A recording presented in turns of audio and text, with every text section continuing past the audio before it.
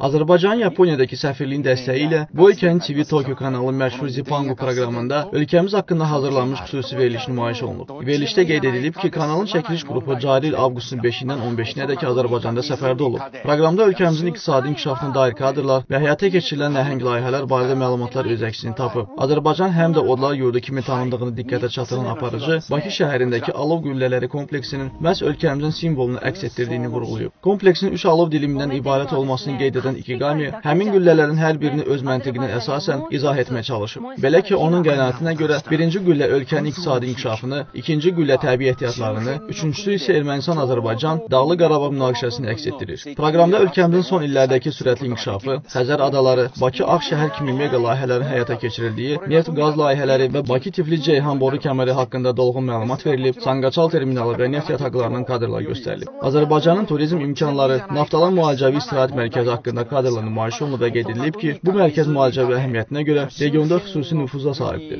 Xəzər dənizinin zəngin təbii ehtiyatları haqqında məlumat verən aparıcılar onun dəniz və ya göl olması barədə diskussiyaların davam etdiyini də bildiriblər. Sahil ölkələrinin Xəzərin hüquqi statusu ilə bağlı mövqeləri birlikdə öz əksini tapıb. Proqramda Yaponiyanın Itoçi şirkətinin Azəri Çıraq Günəşli və Bakı Tiflis Ceyhan layihələrində iştirakından da bəhs olunub. Kasugi Zohen Co Ltd şirkəti tərəfindən İsmayıllı rayonunda salınmış yapon bağının ölkələrimiz arasındakı mədəni mübadiləyə töhfə verdiyi qeyd edilir edilib. Yapon əlbəyaxa döyüş növlərinin, xüsusilə karate idman növünün ölkəmizdə gənclər arasında rəğbətlə qarşılandığı vurğulanıb. Yaponiyanın Fuji Mekani Optik eynək şirkətinin rəhbəri Akio Kanai tərəfindən ölkəmizdəki məcburi köçkün və qaçqınlara edilən yardımlar haqqında kadrlar göstərilib. Bu insanların məhz Ermənistan, Azərbaycan, Dağlıq Qarabağ münaqişəsi nəticəsində öz ata-baba yurdlarının didərgin düşdüyü bildirilib. Vüqar Ağayev, Zaur Musayev, Hümmət Məmmədov, Azərtəc, Tokio. Hə.